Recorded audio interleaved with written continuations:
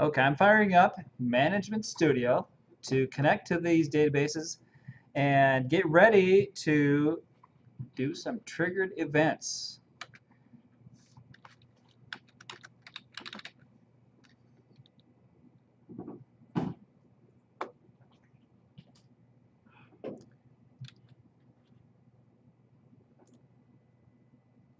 Oh, I'm using Express. I should have used 2014. Oh, I don't like Express. Forgot that I had installed Express. We'll just play with Express, see, see how different it is.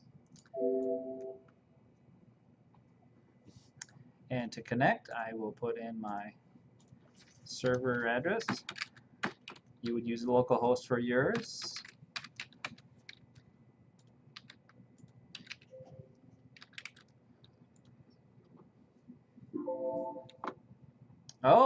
It doesn't like to connect to 2014. I cannot use SQL Server Express. All right.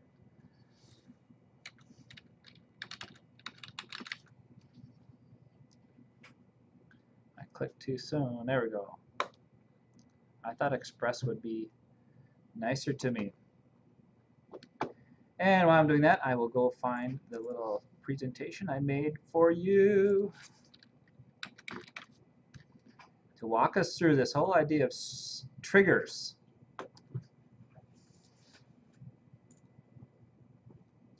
They sure pack a lot of information in Chapter 8. A lot of, a lot of stuff there, so I'm happy to camp out there a little bit here. We'll move on soon enough, but I want to make sure you're familiar with enough things here. And I'm going to have you make your own trigger and your own stored procedure. So we're going to add uh, those problems following the ones in Chapter 8 that we just did. But let's look at this first. Let's think about how triggers work and how we create them.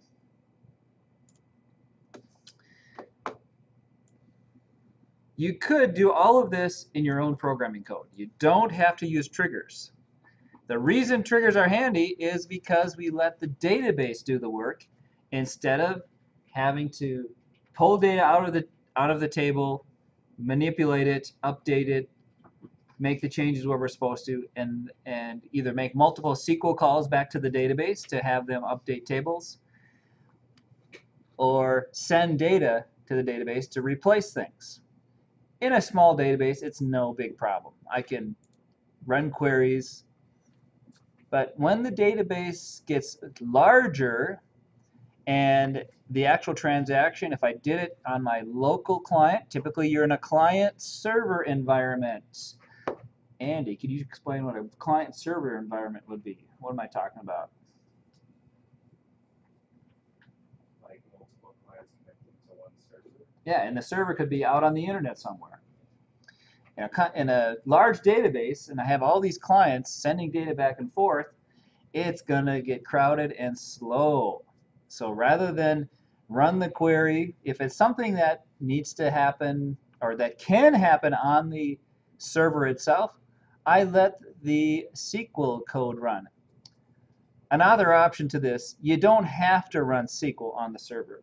You could run server-side scripts on the server that when you access the database and say, you know, I'm changing this value and that triggers a whole avalanche of other processing, you could have it run in another language that's a little more debuggable than SQL. That's one of our problems for SQL is trying to debug it. Even our simple procedures that I'm going to have you make, actually seeing whether they're working is not that easy. You have to do something that's supposed to fire the trigger and then go check the data that should have been changed by the trigger. And And- see if it, yeah, and see if it actually made the change. And then, of course, if the change isn't what you expected, you have to go dig through the code and figure out, well, what went wrong? There isn't uh, breakpoints. It's, hey, did the code work? What change was made? It's a lot more difficult to debug. Maybe there is an environment out there on the server that actually lets you step through SQL stored procedures, but uh, I haven't found it. So we're writing, we're going to write some small triggers. So the neat, the neat thing about a trigger is you don't even have to write the code that tells it to run. it will automatically run based on the trigger you set. And the example they use in the book is uh, we have this customer database, or the project in the book, the problems in the back. We have a customer database, and we have this, what could have been a calculated field called the customer balance. And the customer balance is calculated from all the invoices, basically the sum of the of the amounts for all the invoice that go with a particular customer. So the trigger that they want us to do is whenever an invoice has been added, update the customer's balance back in the customer table. Of course, we could have done that with our own code.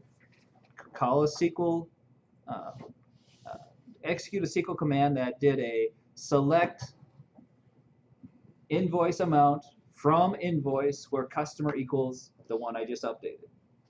Then in my program, I could read through the results and add up all the invoice values and then say set customer balance equals this variable I just calculated.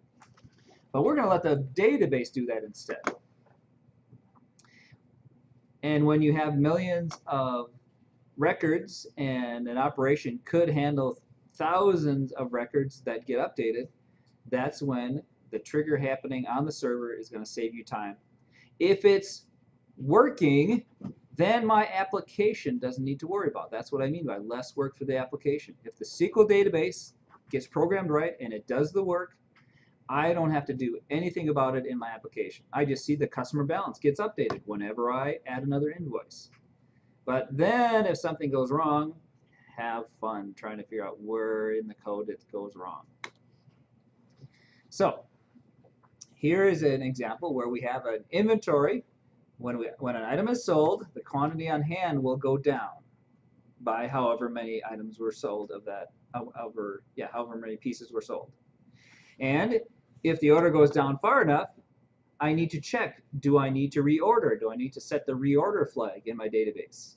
If the quantity on hand falls below a minimum, which should be stored in the parameters for that particular type of item. So lots of things can be going on here. I may do a query of the quantity on hand value, compare it to the quantity on hand minimum. If it's that's less than that, then I wherever the flag for reorder is. That flag for reorder may be right there in the inventory table, or it may be in a messages table that I say update messages table set or, or no, insert into messages table, set reorder where, uh, and then uh, for product, and then whatever product item this is. Another one, if I've got perishable items, when I've refreshed it, after throwing out the old perishables, I've received some new product that has an expiration date. I tell it, I update in the database the shelf removal date so the stock people can have on their list these items need to be removed from stock uh, next week. But this will happen as soon as I enter new the new product into our uh, inventory. Those are all something that could be happening in a triggered procedure. I'll call it a triggered procedure. It takes a trigger event, it's triggered, and then automatic will update a few things. If it's durable goods, it may that may be based on my business strategy. That I don't want things getting dusty on the shelf. We schedule them for uh, moving to another place in the store, so customers thinks it's a it's a new item when it's just been sitting getting gathering dust. Maybe after so much time, even their durable goods, we move it to the discount table because we need to move inventory. It's not selling. Let's move it and uh, bring in new new items. There's three kinds of triggers. If you just do a search on Google for Transact SQL, which is Microsoft SQL version, and you look for trigger, you'll come across documentation that has a DML, data manipulation language. That means that something has changed in the table, inserted or updated or deleted, and the DML, the trigger, then should do something like update the customer, the items on hand, update whether the inventory needs to be sold, all that. The other kind of trigger that Microsoft explains is a DDL, data definition language. That means I've altered the structure of a table. or even some of the permissions to the table. Now I'm not sure, uh, I don't have an example straight up for you on how that would how that would be triggered. Can you think of a, of a reason or uh, something to do when a table has been modified?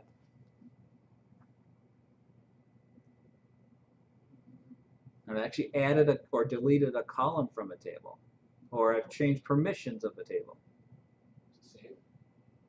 Hmm? Something that automatically like s- save your database somewhere else. Yeah, I could do, automatically do a backup before I actually completed the query. I'm not sure if the trigger. I think that um, I am. I'd have to check. I think triggers happen be act, at, before the actual uh, SQL is is committed to make the change. But I'd have to check to be sure. It wouldn't necessarily matter, would it? Because it's gonna get saved, it gets saved after, then it'll always be saved after, and you'll always have a. Yeah, so I'd have saved the yeah after the previous change. Yeah, yeah. It, it'd just be a different time to look for. Another thing you may do, maybe you're just gonna keep a log of transactions, things that have changed. So just even regardless of what uh, you know, backing up the database, which would be a good idea. Also saying, okay, this database was altered at such and such a time.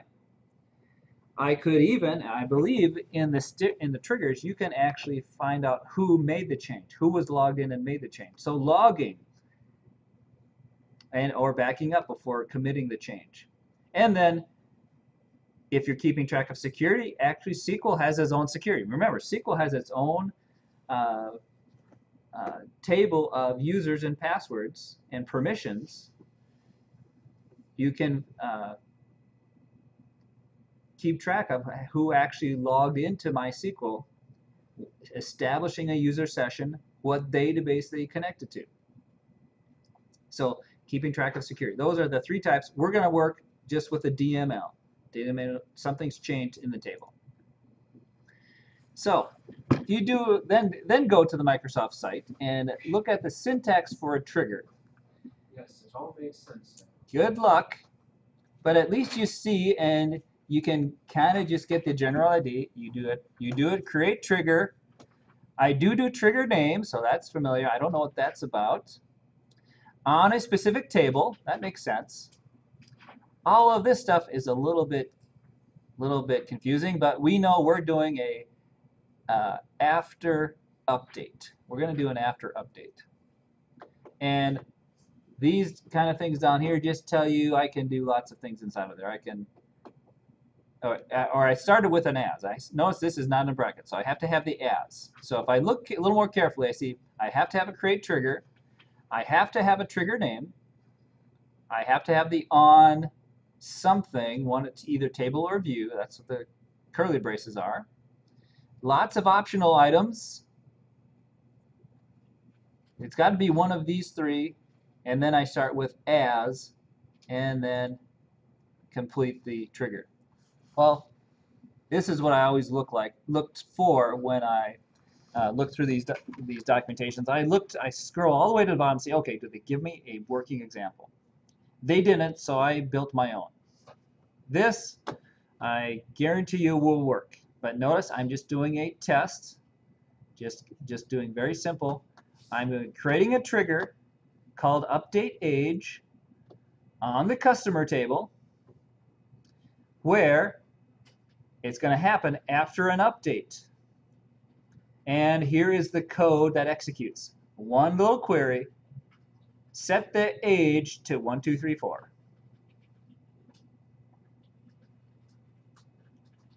Let's see if you can write this query and make it happen, and then we'll fix this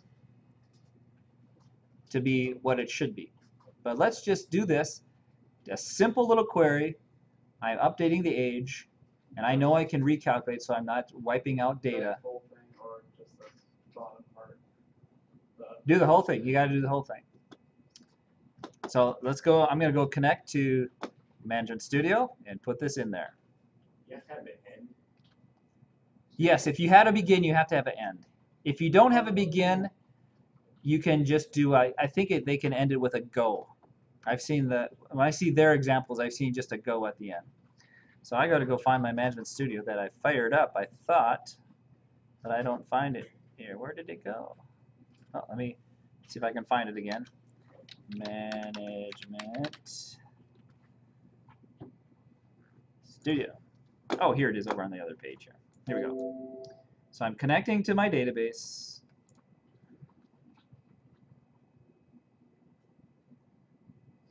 I'm connected up to it. And I'm just going to start a new query that will do that create trigger. So I'm going to just start that and put that code right here in create trigger or, or, or uh, in a query. The first time you make it, just use the query to build it, and then I'll show you the shortcut once you've changed it and want to modify it. What was the age? I just set it to a random number. Yep. Okay, so I go here and just start a new query, create, and you don't have to be all caps, but I see that in the code. Trigger,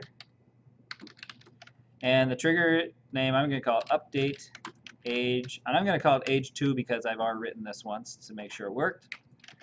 On the table, so the customer table, whenever an update happens,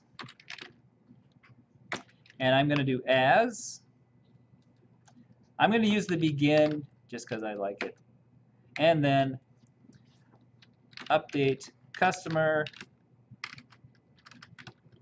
set cust age equals 1, 2, 3, 4. End.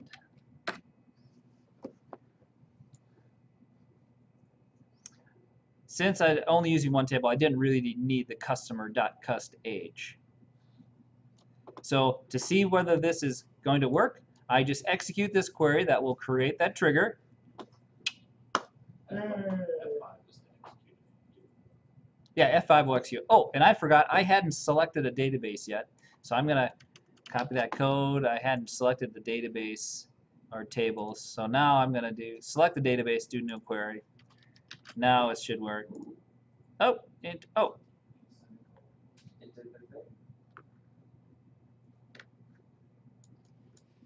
Oh, I missed I missed the uh, code that I had originally. I forgot the tri create trigger part. That's what he was complaining about. There we go. No wonder it was not quite. And there. So this is my simple query. Let's execute. It creates the it creates the trigger at this point. It doesn't run that code. Okay, so now I know the trigger is created. Now watch what's cool about this. I can close this. Don't need to save changes. And I can go to my database, expand my database, look under programmability, and look under stored or sorry, not sorry, we're going to go to stored procedures. Sorry, look under tables, the table that I just created the trigger on, and I expand that, and expand triggers, and I should see my trigger in there that I just created. Now, SQL Management Studio gives you an easy way now to change it. I can right-click, modify, and I see it's added a little code for me. But here, now that the trigger's there, I can do an alter trigger as I make changes to this. So I'm not going to alter yet because I have something that should work. How do I make this fire? I have to change something anywhere in my customer table.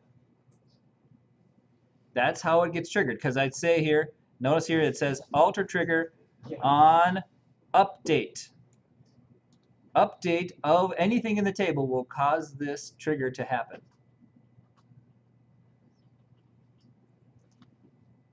So to make it change, I'm going to go just edit the top 200 rows of my customer table because it's an update of the customer table. And see how it modified my code to put square brackets and my DBO object around it? That's how it prefers the language. So I, let, I leave that alone, even though I really didn't need to spell it, write it out that way. Go to my tables and right click edit top 200 rows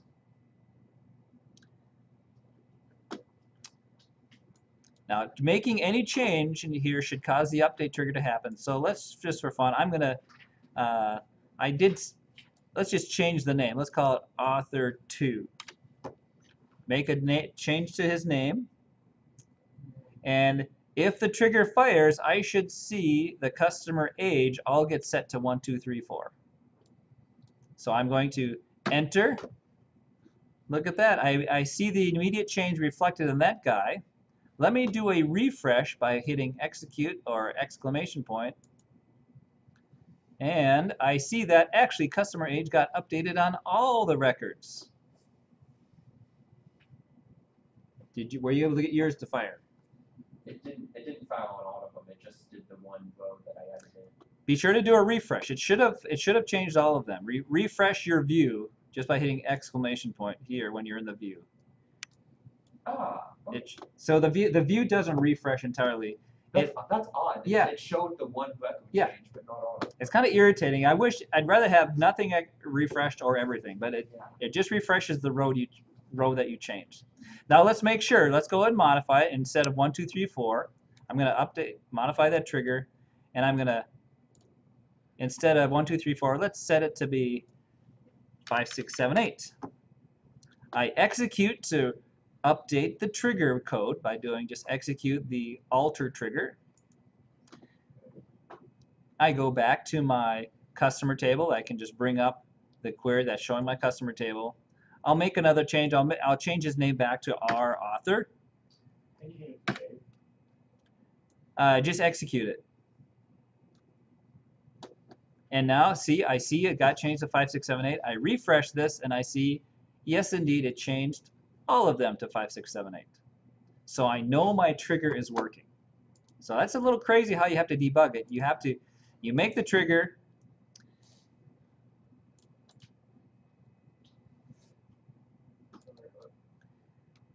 Okay, so you- then you make a change to see if to make the trigger fire, and then you go back and see did the change happen. Okay, so there's my. Let me enlarge this. There is the. Actually, I'll just put the code. All I did here for the trigger was that code there. Or I'll go back to this presentation. It has a little bigger. So this is all I did, and actually I didn't have to do customer.custage. So the two problems with this. It's inefficient because it changes everything in the table. If I have three customers, that's no big deal. But if I have a thousand customers or a million customers, I make one change and I sit and watch my database as it goes through automatically doing this very inefficient trigger. What I really only want to do is update the customers that were changed. I still didn't get mine. Okay. Let's get that working for you.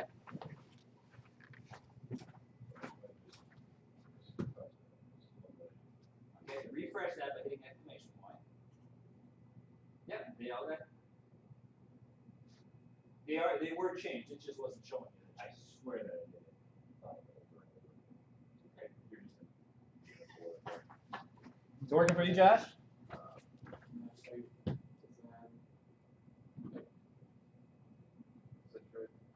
Well, you're adding a new customer, so you're doing an insert, not an update. But let's see if it, I think it should fire the update trigger.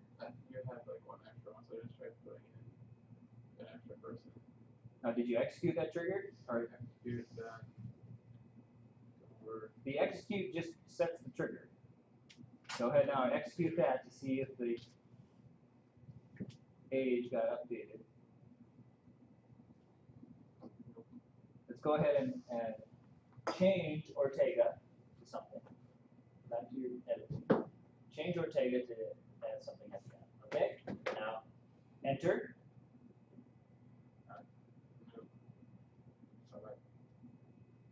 Now hit enter. There. Now, refresh. And then we see customer age got changed to 1, 2, so I know the trigger is firing. And that's the goofy uh, debug procedure with SQL. You can't do a breakpoint. You just have to say, okay, did, this, did the trigger do what I expected? And I just put a goofy thing in there. So. And yours worked? Yours was working? Okay. So now, now we'll move on. Let's let's see what we want to do next. Instead of just instead of changing them all, remember this is going to change everything because there's no where clause. How about we only select the customers that have been changed. Well, here's how we can make it more efficient. We add this where clause, and as you read on their documentation, it takes a little digging, or watching examples on Stack Overflow, you'll see they show you that there is a special table called inserted that actually contains just the information that's going to be updated or inserted. But it's called inserted. So now, instead of setting them all to 1, 2, 3, 4, I'm only going to set the customers that are in the things that have been changed. So adding this extra part now will only update the specific customer that I just changed. So I'm going to leave that code there and bring up SQL Studio and put it up to the top. So inserted is the keyword for whatever record they're affecting. It's, yeah, it's actually like a table. Think of it as a table. Same structure as your table you're modifying. So in this case, it's the customer table. So inserted, you think of it, think of inserted as like a temporary customer table called inserted, but it has all the same columns. Just only the one record for, or one row, I guess. Yeah. I could be doing a multiple delete, but in this case we're only doing one. But there are there are there are SQLs that will do an update of multiple rows. This would get fired with multiple rows if I happen to be running a, a query that updated several rows. So I'm going to modify this guy and add instead of well right now I'm doing 5 6 7 8 I'm going to make that a different number now. Each time I'm going to make this different so I can tell that this new uh, modified trigger is still running. And I add the where cust num in, remember the in clause, very handy for taking input or taking having cust num take multiple values. Select select cust num from the special table called inserted. And remember this in clause, where cust num is in, that means whatever shows up in the cust num in the inserted, what's being changed row, it'll it'll give me possibly multiple rows. And now I put a different number here so I can tell, okay, yes, this new trigger is is fixed has that added line. So now I'm going to do execute to to update my trigger. Remember, remember executing this just updates the trigger code. To actually make it fire, I have to go and modify my table. And now the, the difference I'll see is I should only see the row that I modified get its age changed to this new value. Um, do we have to change the name of the trigger? No, no, because once you go to modify, it changes the create trigger to an alter trigger. So it does all that for you and adds this extra little code for you. Just a standard SQL. So it modified my code a little bit, but now gives me where I can fix all this. And and adding comments, feel free to add comments with a double with a triple dash. Uh, by Manning for 11. Now, executing this saves it. I go back to my table, make a change to our author again, and I'll make its change its name again. Hitting enter, I should see only that row get a new age. Let's do a refresh to make sure that's the only one that got the change. And looky there, I see that's the only one that gets changed because of my only update customers in this list that are the ones being changed. Now, if I were if I were changing multiples, I could do like a a update customers set the cust test uh, or the cust balance to be one more than it was. If I update multiple rows, they'll take on that new value.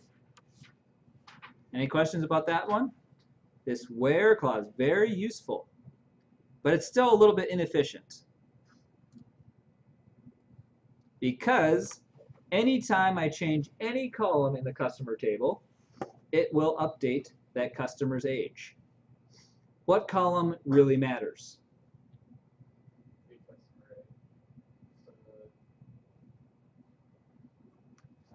the only time I need to update the age is if they've changed the date of birth Okay. field. Yeah. Now, with our table, again, it doesn't matter with our tiny little table, but remember, big table with lots of records, lots of columns, this will become very inefficient unless I trigger the update specific to only a change of one column.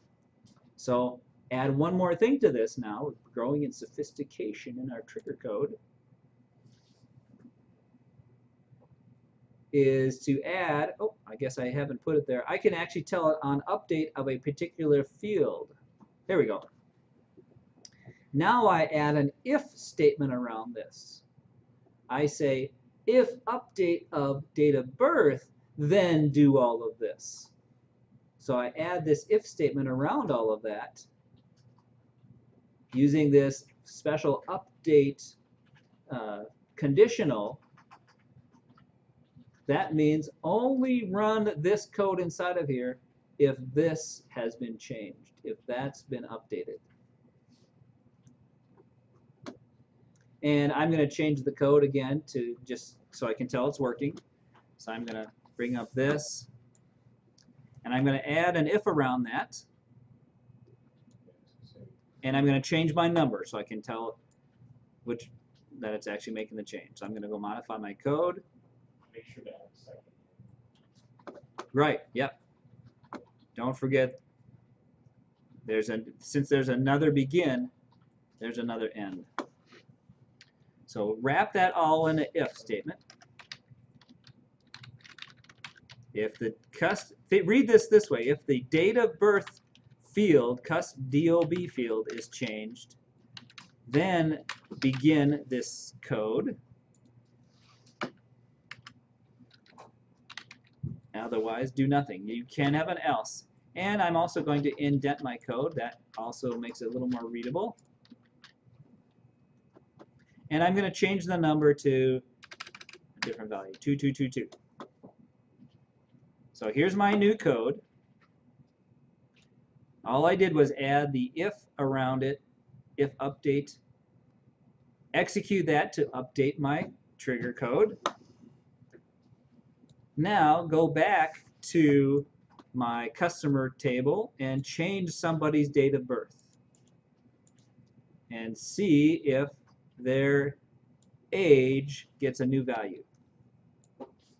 So I'm going to go to Jan, Jean Smith's. I'm going to change her date of birth to 1980 instead of 1979, and I should see her cust, cust age get changed to 2222. So I hit enter on changing her date of birth, and indeed, after changing her date of birth, I see hers change. I refresh the entire view of the table to make sure no one else got changed, and I, there indeed, I see only hers got changed. Now just, again, to be sure, let's go ahead and just change her name. I'm going to change her name to Smith2, hit enter. Uh-oh, I'm not going to be able to tell because it's already 222. Let's change Juan's Ortega to, hit enter, and his age should not have changed because although that row got a change, I didn't change the date of birth field, so it did not fire my trigger. And see how I'm debugging? Just changing something to a specific value. So I can tell whether or not it actually worked. Does that make sense for you?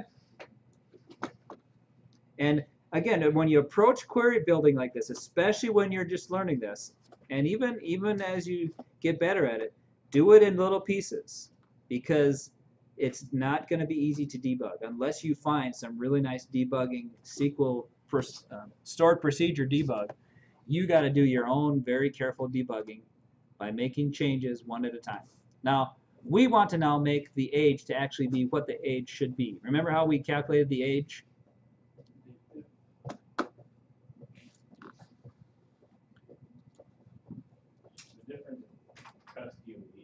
Yeah, it's date diff. I to, with Microsoft SQL, I have to use date diff. So here I do date diff uh, cust DOB, date of birth, DOB. Oh, and I forgot, the first parameter is year. Oh, look at that, it gives me an autocomplete choice here. Look at that. So look at all those choices. I didn't realize how many, so many choices on date diff. So there's the year field. Oops. And the difference between cust, DOB, and comma, sys date time, right? Yeah, there, sys date time. Love the autocomplete. Now, I won't see my date get updated unless I actually make a change to the date of birth. The, that is why as date, Yeah, S-Y-S D-A-T-E-T-I-M-E. that works for you? C I. Sys- Oh, oh, and I forgot the, oh, empty parentheses. I forgot that. Now I, let's see if I have it, I think if you have a syntax error, it won't take the alter. So if I have that bad, let's see what happens. Yay. Empty parentheses, then execute. Now it's happy. So yeah, so you, if you have a syntax error, it will catch it and usually gives you a decent syntax, you know, decent error message to point to a little easier where the error is. Now I won't know it works though until I go back to the table and one by one just make a little tweak to the customer date of birth. I'll tweak hers back to 79, hit enter, and age got changed to 37. Make this 23, and his age got updated. Give him a date of birth. When did you add it? I just started typing where the star is. Just like in Access, I can just start oh. typing here. No. When? Oh, when? Oh, I did that last night. I was playing with it Oh, okay. when I was testing all this code. I don't have it. Yeah. I have a question. Yes, sir. Um, I put my birthday for fun in ATAZ because it looks like it's going solely based off the year or rounding up. versus I haven't had my birthday this year, but it's already saying. I'm Oh. Yeah, it's just going. But like, is there a way to make it go? I, I guess since it's not technically counting ages of people in computer sense, it's just measuring the distance of time. Yeah, in and then rounding- years. And then rounding up and giving you an answer back in years. It's not really simple. There is a way to do it in simple, but it's not like a simple. it- it No simple answer. Well, Can we just- I mean, round You could and copy and like, paste, but it takes several, my point is it takes several lines lines Uh, to chat, because it needs to, it needs to chat. There's There's no, no like, round like down each, each part of the. you can set it around. Um, let's see here. You could, you could, remember what you have in your little query. Just, could you do it by day and then divide by three sixty-five? Right, you could do, because you can get sys date, or you can get date diff based on years and then days. Uh, you could do, Then round down. yeah, you could do lo- all sorts of math. There's, because remember, sys get date diff can go days, min- minutes. So you could probably get the year and then add uh, fractional date uh, day difference divided by 365. Okay. And remember, if remember what we'd have to do if we actually wanted to do that, we want to have fractional age. We'd have to actually modify our design of our customer table, because I believe age is uh, set to be a numeric without any decimal. So we could change that to be 18.2 or 18, however many de- decimals you want to carry, or you could make it a, uh dec. Uh, oh, a uh, decimal Yeah, you could add multiple numbers after the decimal point. But if you wanted to do that, save actually save it in the database, you'd have to allow that. Right now, mine is just decimal 18 comma 0. All right, so let's. Uh, so now we have to trigger that. We haven't. I haven't triggered it yet, so I'm going to go edit the customer. Oh no, I did. I went and edited all of them, and I see now the age it's calculated. So I'll put in my birthday to 1961 dash 11 dash 18 enter and it calculates me as being a year older than I am Yeah, so I see a, it's doing the just a strict year subtraction, not even rounding. So my age at the end of this year is what that's showing. All right, now let's see what else we want to do. That that's triggered uh, procedures. And this is the part that you just did. You added this. And I think that's that may be, be the end of that presentation. Now, stored procedure. Pretty easy. Actually, uh, the only more the only thing more complicated about stored procedures is they can take parameters. So let's do a stored procedure and see how they work. Does your computer automatically round up? Uh, if it well, it depends on what programming language you're using. Often it just throws away what's after the decimal. I did the divide by three sixty-five point two five and it worked fine without changing the data type. Yeah, It rounded it fine. And do you have? it rounds down too. Oh, okay. That's what I was. So even though you're still storing it as an integer by doing the divide, okay. All right, so now we're going to make a stored procedure. Now, if you want to do it the confusing way, you can go down to your database and go to the programmability and do right-click, new stored procedure. And instead of giving you a blank sheet, it gives you a template for a stored procedure with lots of confusing things in there. But it actually gives you an idea of what should go in there.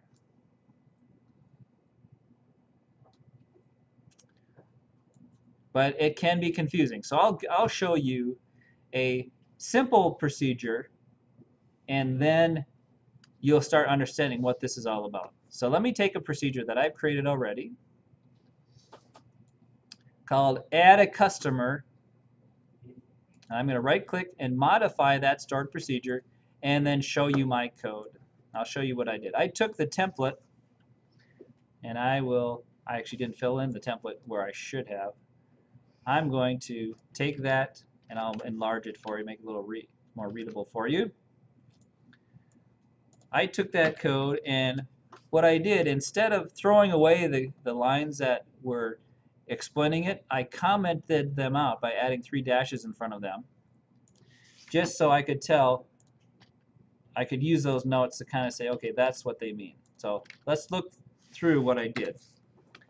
Back at the top, first thing you do is you, instead, of when you're doing it the first time, it's create procedure, procedure name. So ignore that stuff for now. And